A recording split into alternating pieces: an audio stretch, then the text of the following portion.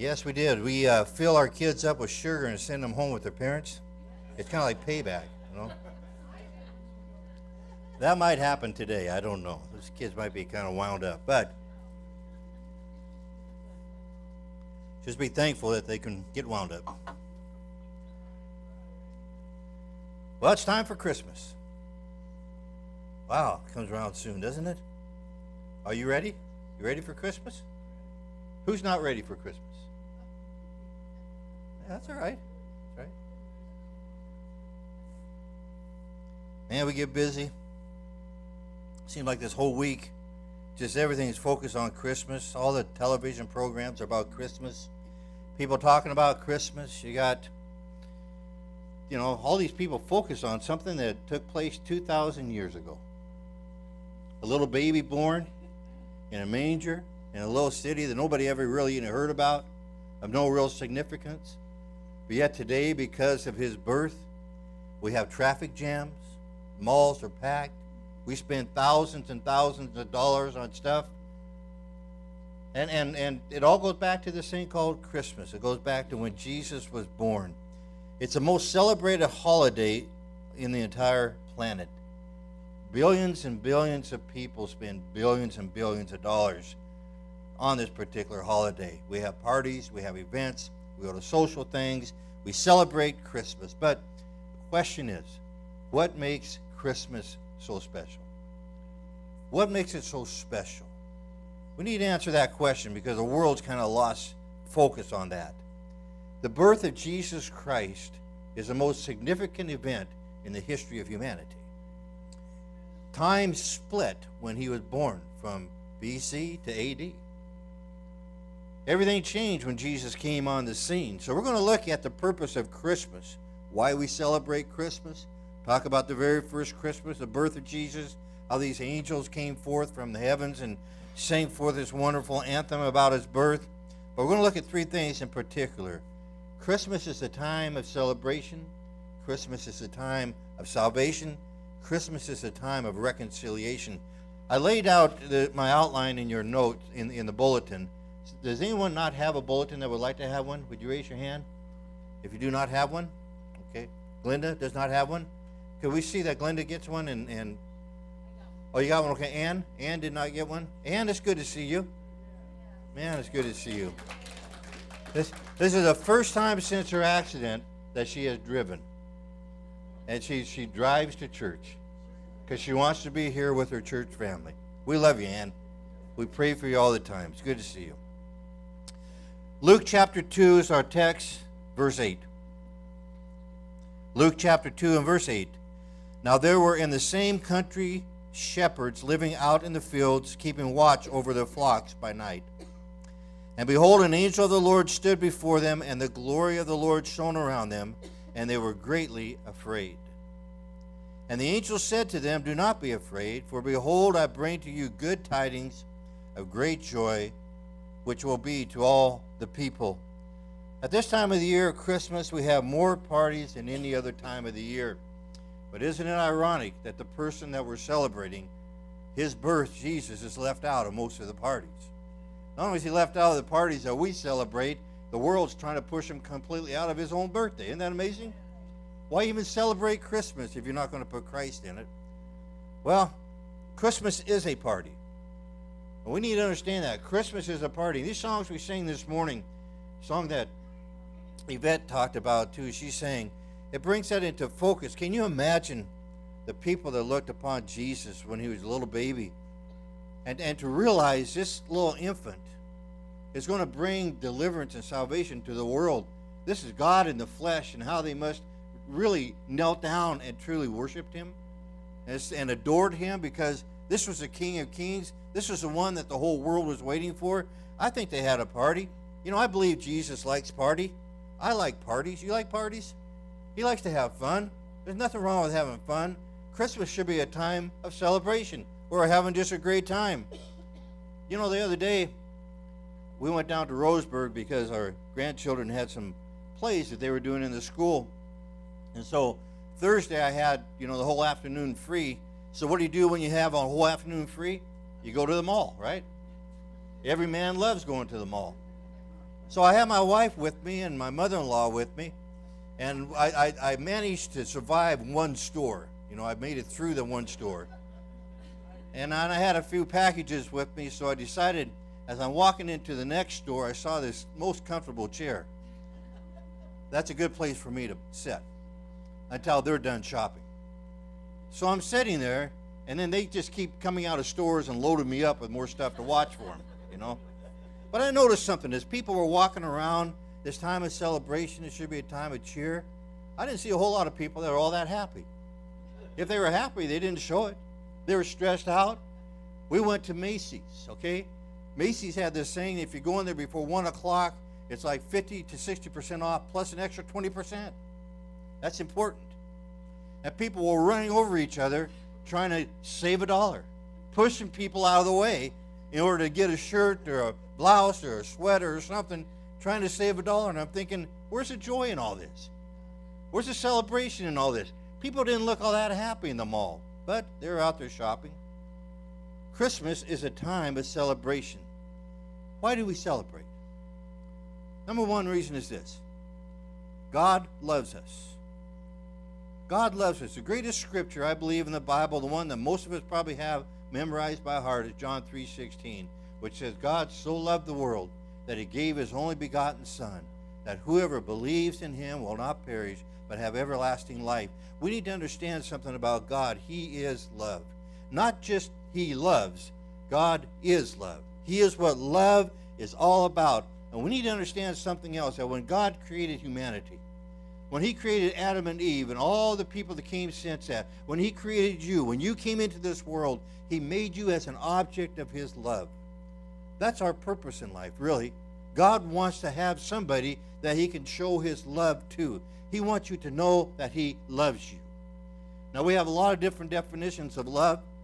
We got love when you look at a little baby, a child, a parent has for that baby or that child, or a grandparent has for that child. You have a love for that child. You have a love between a man and a woman that you enjoy. You have a love that you have with friendship. You love people. But the love that God brought into this world, and Jesus described it as a brand new word, he called it agape love. Agape love is not just that God loves you, it's that God is love. It is in his character, it's who he is. He cannot help but love you because that is what he is. And, and nothing that we do will ever separate us from the fact that God loves us.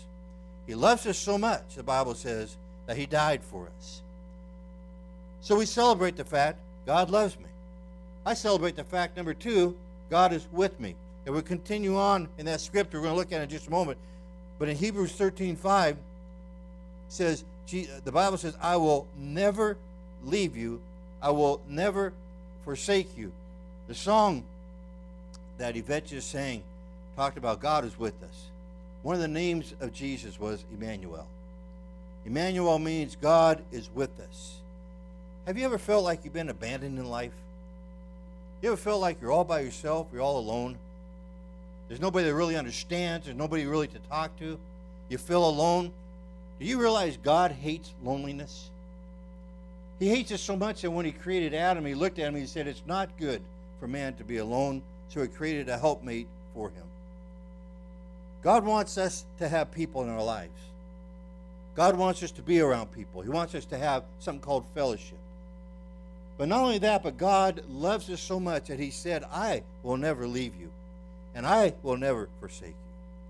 And I want to encourage you as we're coming into the year 2015.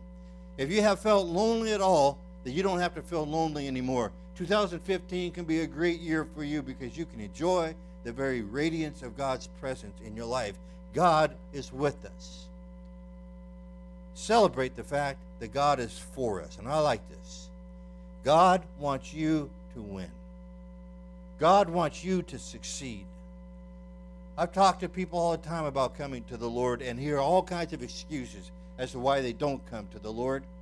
You know, one of the many excuses we hear is people don't want to come to the Lord because they're afraid that He is going to expose all the wrong and all their bad, and not only expose them, all their bad that they've done, but he's going to beat them up because of everything they've done wrong. They have this mentality of God that God is going to hurt them in some way. They're literally afraid of God.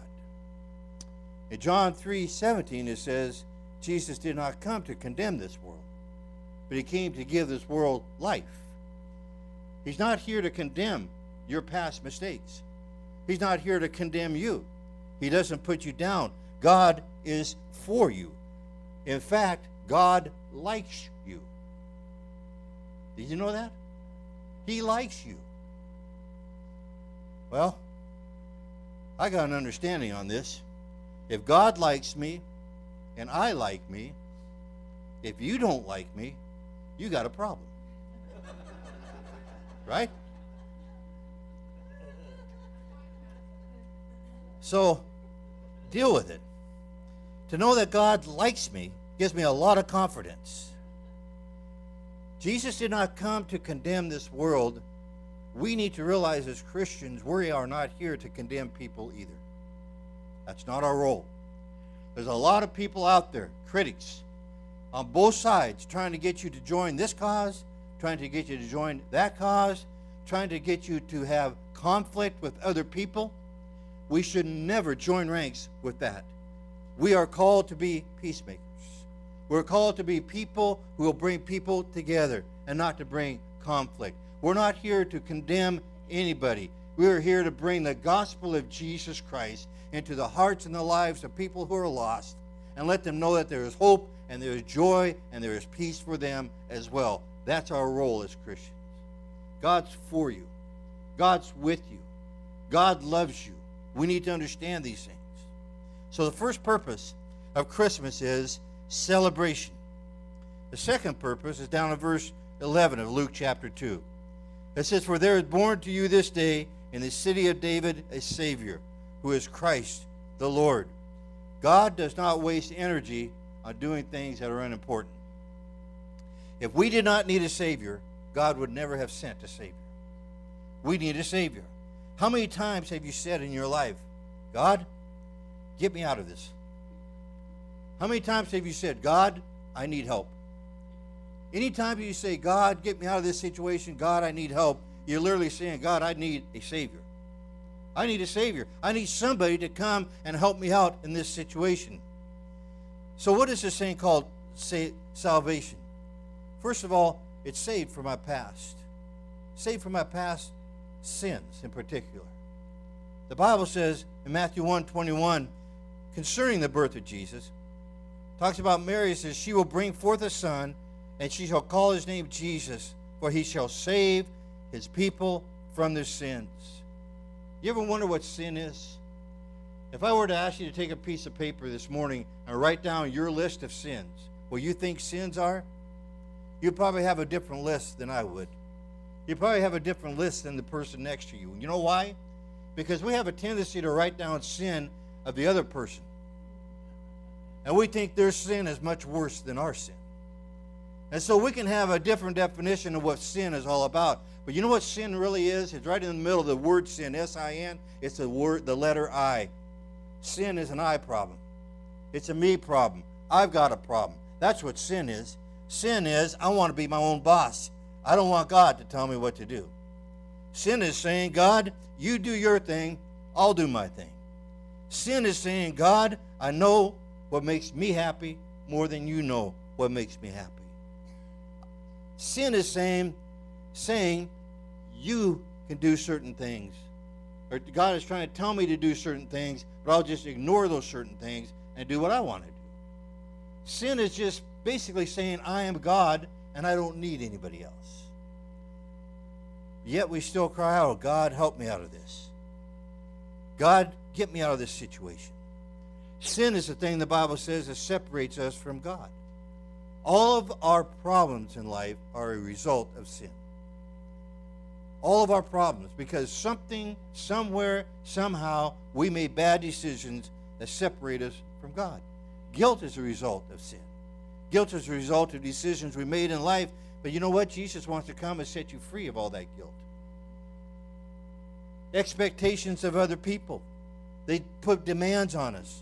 This time of the year, you have all kinds of demands. Your house has to look just right. You got to buy the right present. You want people to enjoy your food. You have all these un, all these expectations put on you, and, and it has a tendency to put you down and put you into depression if people do not say that you have done as good a job as you think you've done.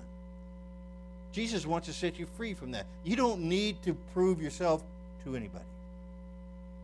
You've already proven yourself to God, and He said you're accepted.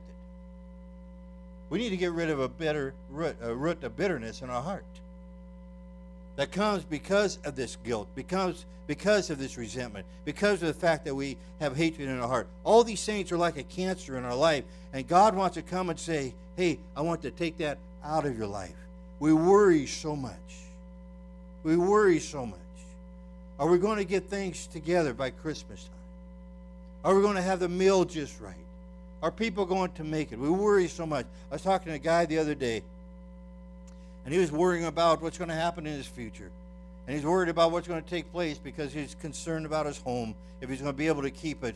And he made a statement in all that worry. He said, You know, I've never really gone without anything in my life.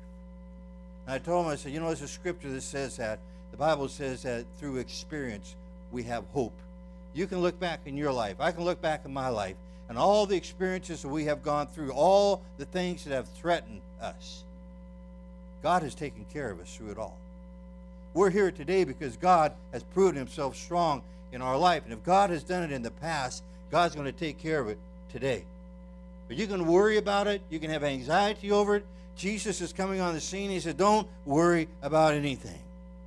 Why do you care what other people think? You know, the greatest fear, for example, is the fear of death. You know what the second greatest fear of man is? doing what I'm doing right now, standing before a public and saying something. People don't like doing that. Some of us, we kind of like it. But it's a fear. Jesus has come to take away the fear of death, to take away the burden of worry, all these things. Maybe you've never considered the fact that you need salvation. But you do need salvation. You need salvation for something in your life. Whether it's any of these things we talked about, or maybe you just feel like there's times in your life that your world seems completely and totally out of control. I can't get a handle on this thing. You know, the Apostle Paul felt that way 2,000 years ago, and he made a statement in Romans 7 24. He said, Oh, wretched man that I am, who's going to deliver me from this body of death? Basically, he was saying, I don't know what to do. I try to do good things, it doesn't happen. I try to do some things, it doesn't work out. He said, Life seems out of control. And then in verse 25, he says, I thank God through Jesus Christ our Lord. You see, the answer is found in Jesus. We're trying to find something in our life that is bringing salvation to us. We're trying to find something in our life that's trying to get rid of the worry, the anxiety, the guilt, unfulfilled expectations, the demands on our life. We want to find somehow, some way to escape all that pressure in our life, but yet we have a tendency to look for it in all the wrong places. Some people say, for example, if only I could get married, I would be fulfilled. How many of those of you that have been married for any period of time like to testify to that? Some people say, well, if only I could get a job, or maybe I can get a better job, or maybe I can just live at a higher level of success, of status in life, then I'd be satisfied. Everything would be great. Some people say, if only I would have a baby, then life would be great. Others of us have said, if only my kids would graduate from high school and go off to college, then life would be great. You're looking in all the wrong places. If only I could go on a vacation to Hawaii and put all this pressure behind me. Just leave everything behind me. You know what the problem is? We're taking the problem with us. We can't go on vacation for any of these things. We're taking the problem, with the problem's inside of us. It's not outside of us. It's not the pressure people are putting us under. It's not what's happening around about us. It's not our environment. The real problem is right here inside of us. If we don't have peace with God and joy in our heart that only He can give, then the whole world is upside down. And if that is true, then we do need a Savior, don't we? We need somebody to come and rescue us from this, this horrible situation that we think we're in in life and give us peace in our heart and give us life once again. So we need to be saved from our past. We need to be saved from our sins. It's not found in a pill. It's not found in anything else. It's not found in a place or a program. It's only found in a person, and that is Jesus. Saved from your past, saved for a future. When Jesus saves us, He not only washes our sins away, He gives you a plan, He gives you a purpose in life.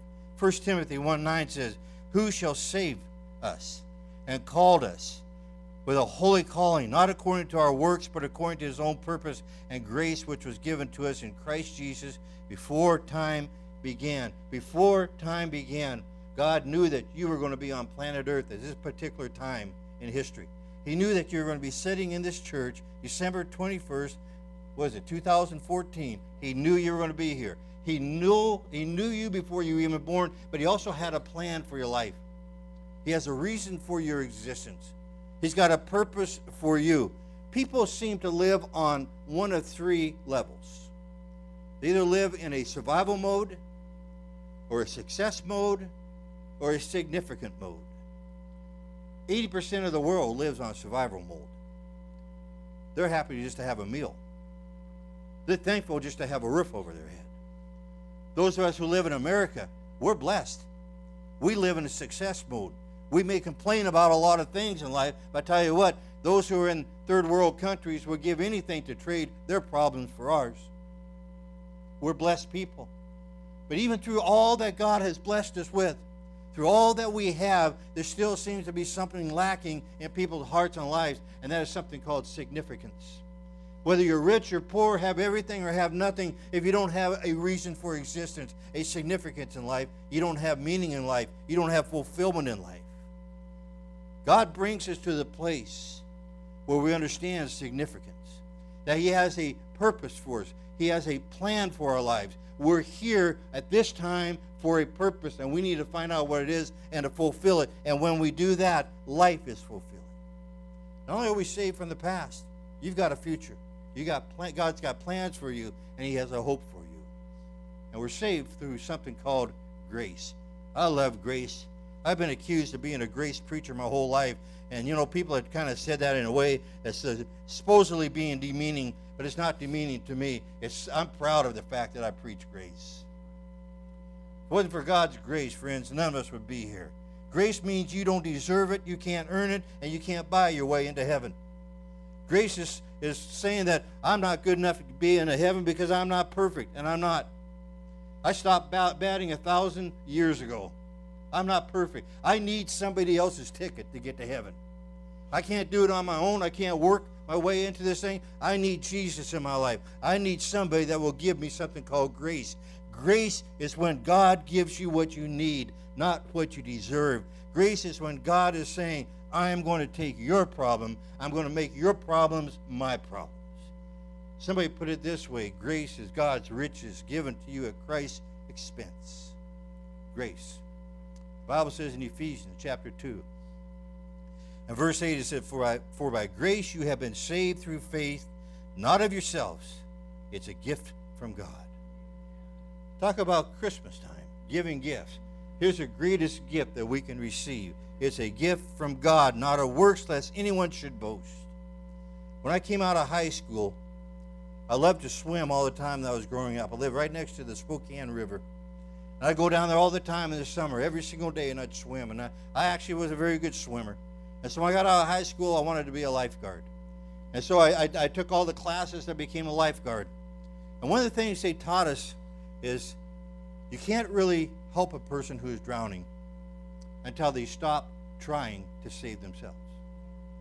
You can swim out there and grab a hold of them. When they got all that adrenaline going through them, they'll grab a hold of you and pull you right down with them. You got to wait for the right time when they stop trying to save themselves, then you can save them. Grace is saying, God, I've tried and I've tried and I've tried and I can't save myself. I need you to save me. I need a Savior. I need you, God, to come into my life and help me out. And as soon as we give up striving on our own efforts and we turn it over to the Lord, then God is going to come and help you out. Jesus Christ wants to save you. He wants to save you from your hurts. He wants to save you from your habits. He wants to save you from your hang-ups. He wants to save you for his purpose. He wants to save you by his grace. But we have to stop trying in our own effort to get relief and help in life and allow Him by His grace to help us. The first purpose of Christmas is celebration. The angel said, I bring you good news of great joy, and it's for everyone. The second purpose of Christmas is salvation. For unto you is born this day in the city of David a Savior. He's Christ the Lord. And the third one is in verse 14 of Luke chapter 2. Glory to God in the highest, and on earth peace, goodwill towards all men. That's another way of saying reconciliation. What's reconciliation? Reconciliation is bringing two warring parties together. Reconciliation is bringing a broken relationship and restoring that broken relationship. That is reconciliation. So here comes Jesus, and he said, I'm going to give you peace, not as the world gives, but it's a, it's a peace that's beyond anything you understand. And it's on three levels. First level is this is peace on a spiritual level that you have with God. The Bible says in Romans 5 1, Therefore, having been justified by faith, we have peace with God through our Lord Jesus Christ. If you are doing your own thing, if you don't care what God says, you're going to do what you are going to do. You don't care what the Word of God says. You're going to live by your own lifestyle. The Bible says literally you are at war with God. Did you know that?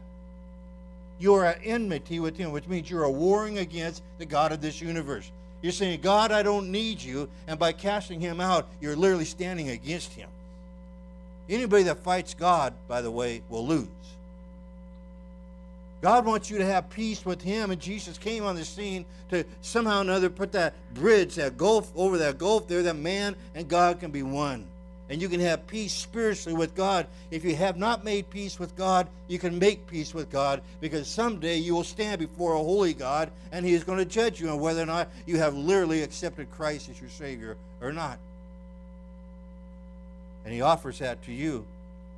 But the peace He gives us is also an emotional thing.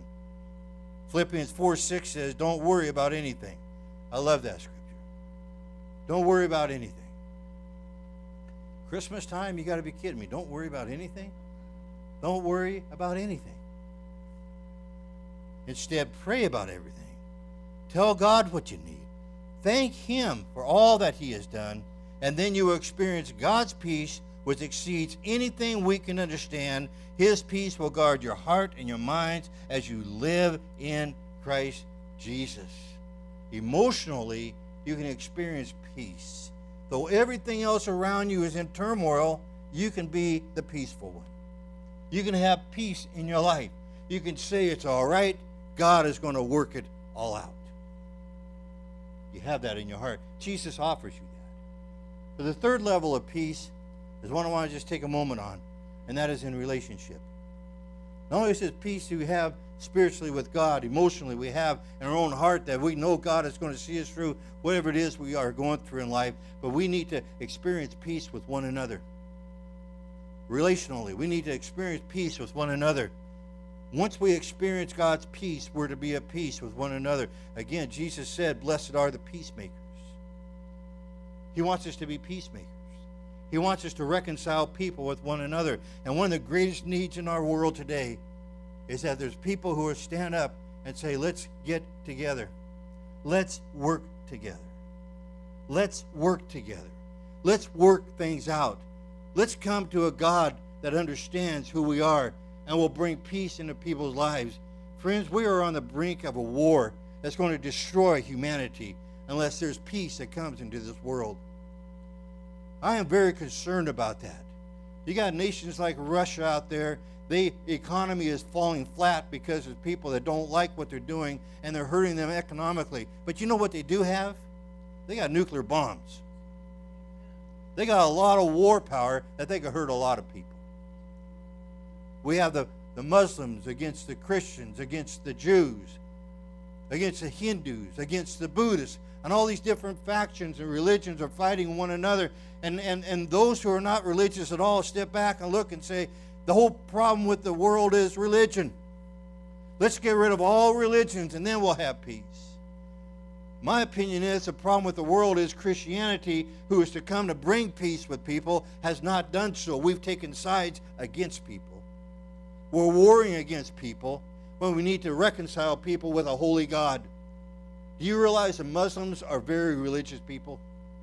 They pray seven times a day. Do you pray seven times a day? They love their God, who they think is their God. They will die for who they believe their God is. The Buddhists over here, I watch them all the time. They work and work and work on that little temple over here.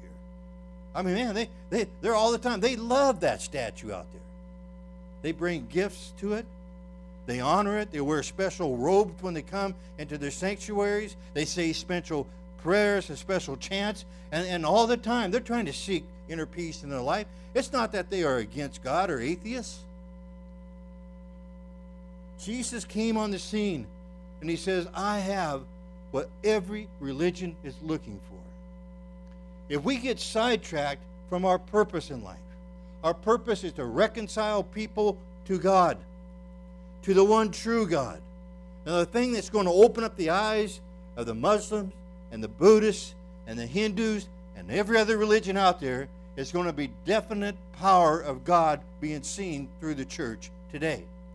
When they see there's miracles in the church today, when they hear of what is taking place, my son was telling me where he works, he tries to testify to those people. Now, Shane was raised in my house. He was in all the time I was in ministry. He was a little boy growing up in that, and he has seen miracle after miracle after miracle.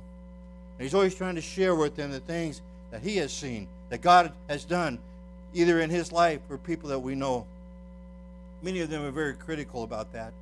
They don't think that God can do that. But one person came in, I don't even know if he was a Christian or not. He said, It's in the news. There was a woman that died, and she came back to life. It was in the news. I guess if it's in the news, it's true, right? like if it's on the computer, you know, it's ah, right on the internet, man, it's true. And so all those guys said, well, it must be true. It must be true. And it opened up their eyes, and he had opportunity to tell them more and more about what God can do. You see, when miracles begin to happen in the church, when people are healed, lives are changed, people are raised from the dead, those who are seeking God on whatever level it is, whatever religion they're looking for, will look to Christianity and say, Christianity may be the answer. We have instead become a people of conflict. We post ourselves against people, against other religions, against other nations. That's not what we're here for. I, I, may shock you with this, but you know what? You are not an American first. You're not an American first. I'm, I'm pro America, but you are not, first of all, an American. You know why? Because Jesus said, the, the, the kingdom that I represent is not of this world. It's not of this world, it's from heaven. We represent the heavenly kingdom first. It supersedes all other kingdoms, whether that's America, Russia, any nation of Europe, Africa, South America, Central America, Mexico. We belong to the kingdom of God. And we need to bring the power of the kingdom of God back into our world today. So people will see a God that came in the very beginning when Jesus came and the angel said, Peace on earth, goodwill to all mankind.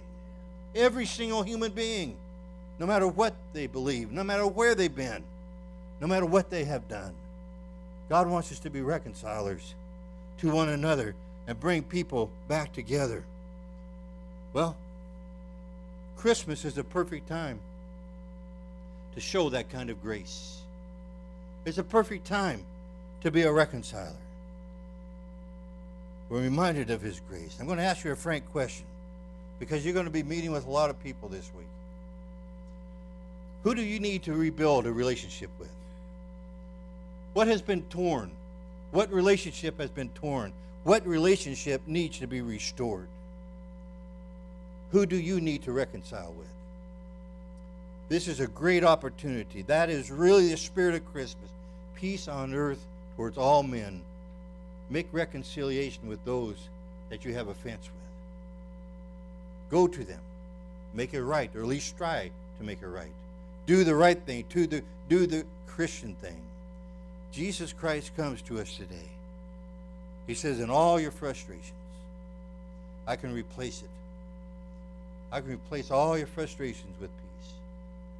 Jesus Christ comes to us and he says, in your guilt, all your resentment, all your shame, all your grudges, all these things, he says, I'll replace those things. I'll give you forgiveness.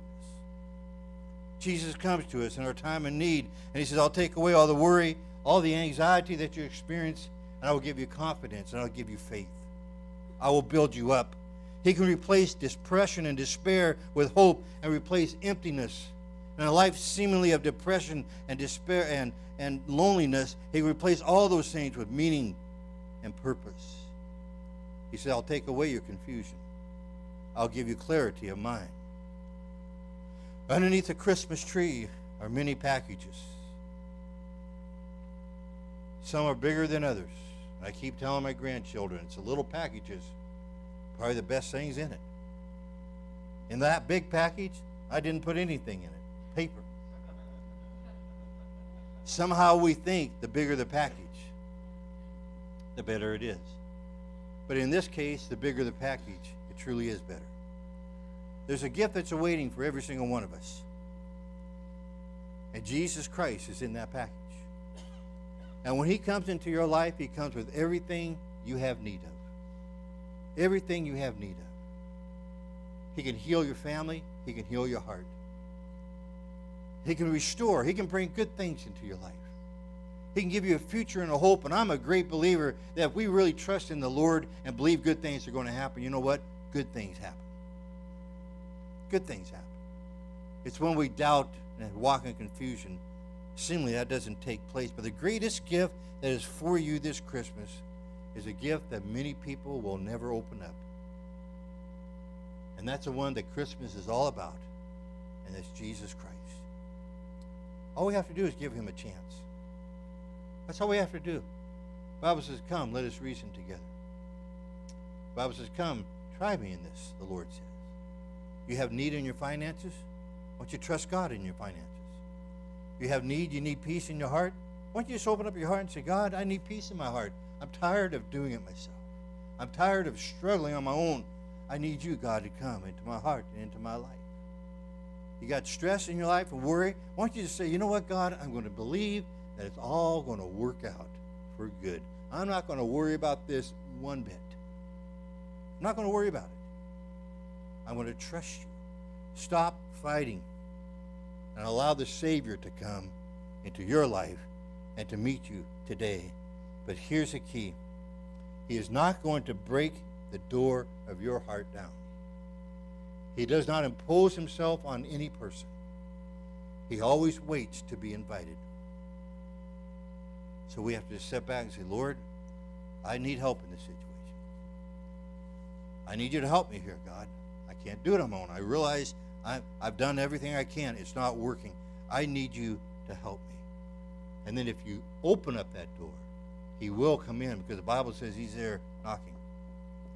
And if anybody opens the door, I'll come in and I'll commune with him. I'll have dinner with him. We will eat together.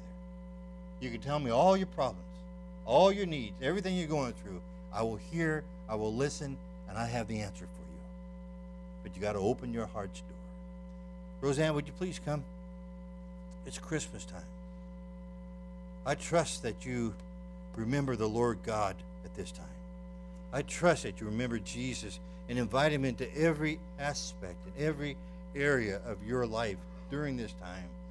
Just get your family together and say, Lord God, we thank you. We have a family. We thank you, Lord, that we have health.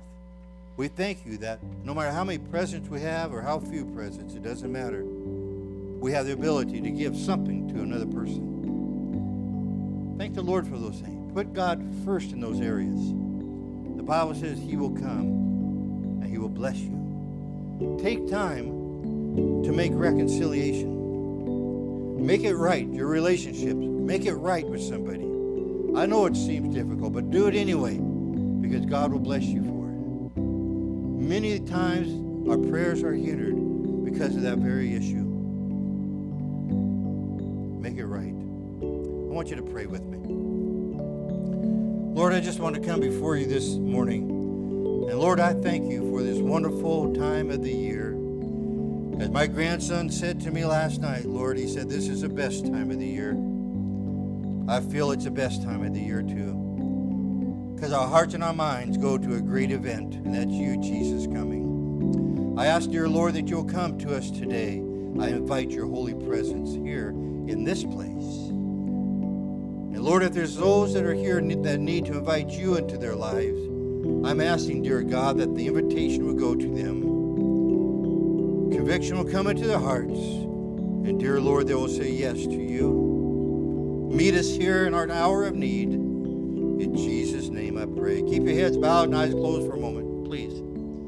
Are you here this morning? You say, Pastor, I need a Savior in my life. I need a Savior in my life. And I'm asking this Savior, Jesus, to come and help me today. Set me free today, to deliver me of my past, to give me a hope and a future. I'm asking this Savior to bring His grace into my life because I realize I can't do it on my own. Would you lift your hand and say, Pastor, I need prayer? Amen. Okay. God bless you guys. Appreciate that. Amen. You need a Savior. The Savior is here for you. He's here for you. He wants to touch you this morning. Will you open up your heart to say yes to Him? That's all you have to do is say yes to Him, and He will come running to you. Oh, what a good God we serve. What a blessed Redeemer He is. He sees our needs and He meets those needs before we even ask. Pray this prayer with me. Say, Jesus. Say it again. Say, Jesus, I need you. I need a Savior, and I need a Savior today. Come into my life. Restore my heart. Give me peace. I accept your grace. In Jesus' name. Amen. I want to tell you something. I feel this in the Spirit. God wants is going to start doing something for you. You're going to see things are just going to change. You're going down a road and a pathway where it seems like, man, am I ever going to get out of this rut? You know, somebody said a rut is a grave with an end's knocked out of it, and you feel like you're in a grave. You feel like, man, if I keep going down the same path, the same road, it's like death. God's going to take you out of that. I believe that. I believe He's going to reach down, He's going to pull you out, and He's going to set you on high ground. He's going to give you a new direction. He's going to help you through some of those problems you're going through. He's going to minister life to you because He's a good God. He's a good God. He comes with salvation. 2015 is going to be a banner year for you. It's going to be the best you ever have had. And you need to expect God is going to bless you in every single way, and He's going to prosper you because that's the kind of God we serve. Amen. Why don't you stand with me?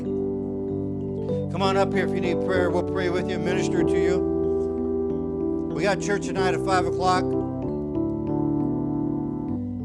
Moses is here speaking. Tell you what, he's he's got some good material. He's been preaching here lately. Good stuff. One of these days he's going to convict me. I'm going to respond. It's good stuff he's preaching. You need to come and hear it. God bless you if you need to go. Don't forget your calendar that's out there.